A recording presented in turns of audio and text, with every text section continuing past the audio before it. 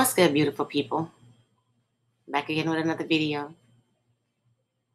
Uh, take the time out to like the video, please. Let's jump straight into it. So, in this video, I want to talk about the power and no contact, right? You decide to cut the narcissist off, lose all contact. You decide you want your power back, you want to change your life, want to do something different. You've had enough of the abuse. So, no contact. And you don't do this for revenge, right? You don't do this for the same reason the narcissist does it. You do it to take your power back, to regain your peace, to be able to find your true self again, get rid of all the fog. You just had enough, right? The decision to go no contact is giving you yourself and basically getting yourself back to normal. And it's usually not done at an emotional level. It is a well thought out plan that takes a certain amount of implementation to get it going, right? I mean, in the first place, it you know, it serves to give you your life back. So you can get rid of all the narc emotion and the BS behavior that sapped your energy and invaded your thoughts. After going no contact, you will start to feel more free and less confused, better able to get on with your life and on your own terms and that could be quite powerful after having nearly been wiped off the face of the earth by the narc abuse, which usually strips you of so much of yourself. I mean, so making a decision to go no contact is you saying I'm in charge of me. And really, you don't deserve to say or do anything else. Leave the narc and all the flying monkeys behind in the dust where you found them. And when you go no contact, this is something that I basically experienced, right? You just got to go black out. It may not be easy in the beginning, but it gets easier along the way once you implement no contact, right? You have to change your Google account, block them on all social media, block all the people who still contact the narcissist. Also, change your phone number. And one thing that I did, I moved cities. I moved. I didn't leave the state, but I moved cities, which was a, a, a very big, you know, it was a big plus for me. And most people can't just get up and move, but if you can, that's a very good thing too. Because they'll show up. They will. They will come back. They will show up. They don't care. They you can have a whole other relationship going on. That all that will be avoided. They will totally avoid all of that. They'll just show up, right? But you change your number, right? And any phone calls that you don't know that calls, you don't answer if you don't change your number. You just don't pick up. You know, voicemails you don't answer, text messages you don't answer if you can't change your phone number, you know, things of that nature. That's what I had to do. That's basically what I had to do. And it's been two years, and I really believe that these things actually work. Listen, you really have to do these type of things because these individuals will go the distance to be a part of your life, to grab you back into the abuse cycle, to keep it going. They'll pretend that they change. They'll come back. They'll suck you back in. You know, once you leave these people, you have to go no contact. There's nothing to talk about. The past has nothing new to say. They're still the same. They don't change. They just, um, they, listen, this, these people are the absolute worst. It doesn't go away.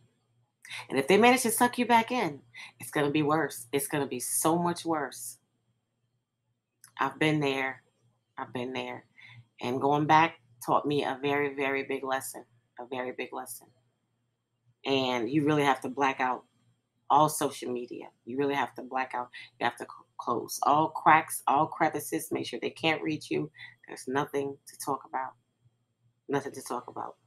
And breaking no contact with, with a narcissist is very dangerous. They're going to try to manipulate you into a false sense of security until they sense that they've regained power and control over you, right?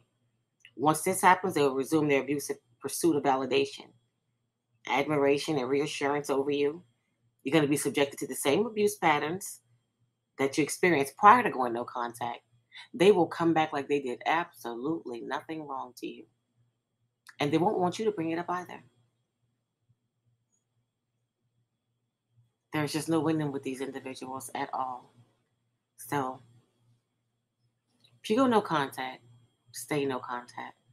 There's nothing to talk about. Nothing to talk about. They have nothing to say.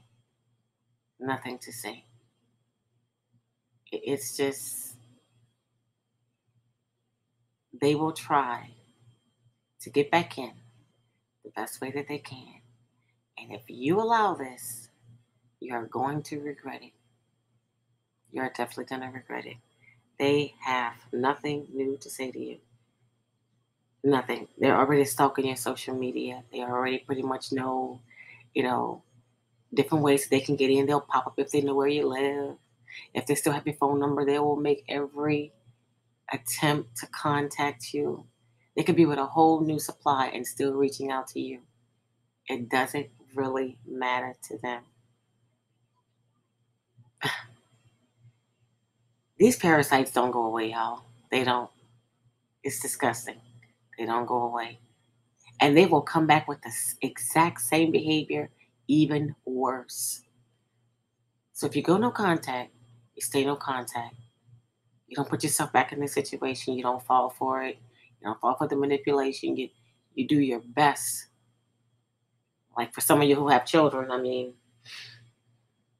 yeah, that's a big one. But you minimize as much contact as possible if you have children with them. You minimize it as much as possible.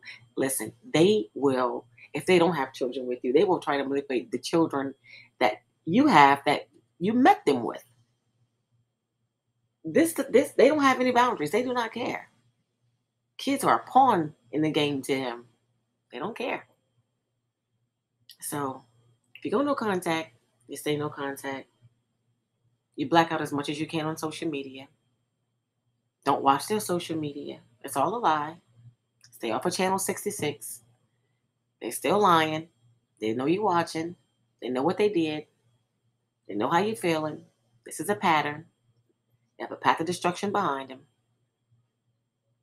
And this is something you don't do. Once you go no contact, you don't break no contact. Because they are on a trip to get you back. This is revenge for them. For them to come back, they want to completely obliterate you this time. They want to destroy you completely. Going back is the worst thing you can do. Going back is the worst thing you can do. So yeah, I just want to come through with a quick little video for you guys to let you know there is a lot of power in no contact. It stops a lot. You can regain control of your own life, make your own decisions, part away from all this narcissistic fog, all the narcissistic residue they left behind, and breaking no contact can literally break you. This is what will eventually happen. So, yeah. Thanks, guys, for listening.